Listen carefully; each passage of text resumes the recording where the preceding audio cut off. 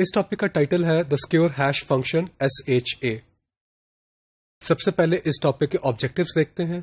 After completing this topic student will be able to explain the working of the secure hash algorithm जिसे हम S H ए भी कहते हैं।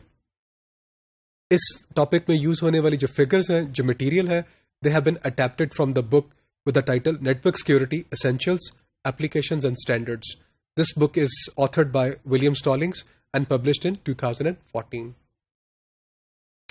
सबसे पहले देखते हैं secure hash algorithm. This is most widely used hash function in recent years. It was developed by NIST, National Institute of Standards and Technology, और उन्होंने इसको पब्लिश किया था FIPS 180 फेडरल इंफॉर्मेशन प्रोसेसिंग के नाम से स्टैंडर्ड के नाम से 180 उसका नंबर था बैक इन 1993 जो एक्चुअल स्टैंडर्ड का डॉक्यूमेंट है उसका टाइटल है secure hash standard S H A is based on the hash function जिसका नाम है message digest version four and it it's design closely models M D four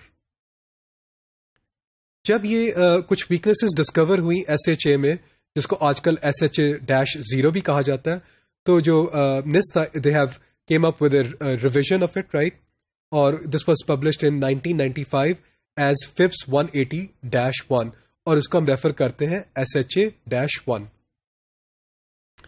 two thousand two में क्या हुआ कि जो निस था दे प्रोड्यूस फिप्स 182 डैश टू और तीन नए version of S H A with hash value lengths two fifty six three eighty six and five twelve bit known as S H A two 256, 386 and 512 bits known as SHA 256, SHA 386, 384 and SHA 512 were defined इनको collectively हम क्या कहते हैं?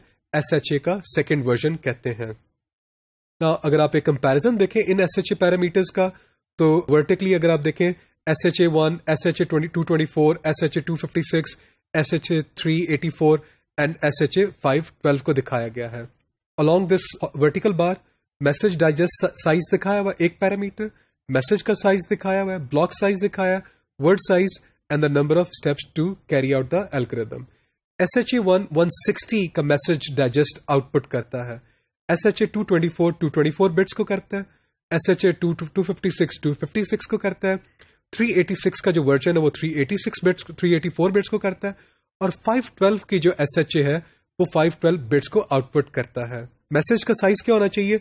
Less than two raised power sixty four less than two raised power sixty four less than two raised power sixty four less than two raised power one twenty eight and less than two raised power one twenty eight जो block size जिसके ऊपर ये काम करता है S H A one वो है five twelve S H A two two four five twelve bits S H A two fifty six five twelve bits S H A three eighty four ten twenty four bits and S H A five twelve ten twenty four bits में करता है।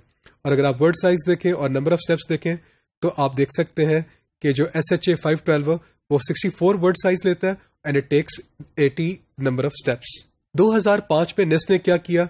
NIST announce the intention to phase out the approval of S H A one and move to a reliance on S H A two by twenty ten so हम इस topic में हम लोग किस पे फोकस करेंगे?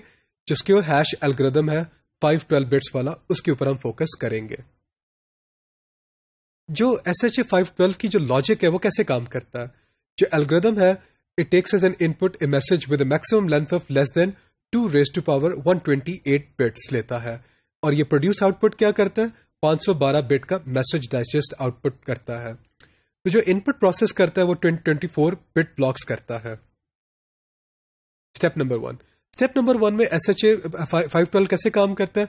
It will append some padding bits padding is added even if the message is already of the desired length तो जो नंबर ऑफ़ बिट्स जो पैड होंगे, वो वन से लेके one thousand twenty four bits हो सकते हैं। जो पैडिंग होती है, ये क्या होती है? It consist of a single one bit followed by the necessary number of zero bits step number two पे S H A five twelve क्या काम करता है?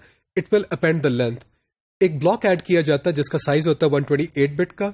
और ये जो वन ट्वेंटी एट बिट है, ये एक अनसाइन बिट इंटीजर को रिप्रेजेंट करता है, जो क्या प्रोवाइड करता है?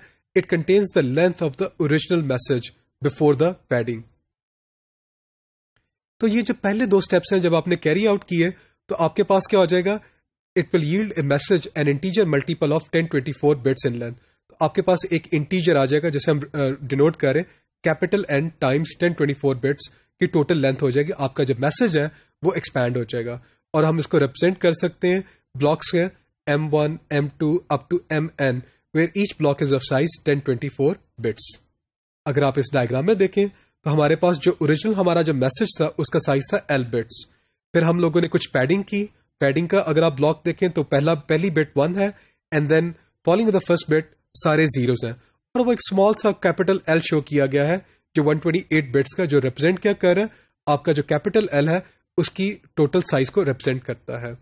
तो पहली दो स्टेप्स को कैरी आउट करने के बाद आपके पास message M one M two M one तो आपके पास टेन ट्वेंटी फोर बिट्स का ईच ब्लॉक है।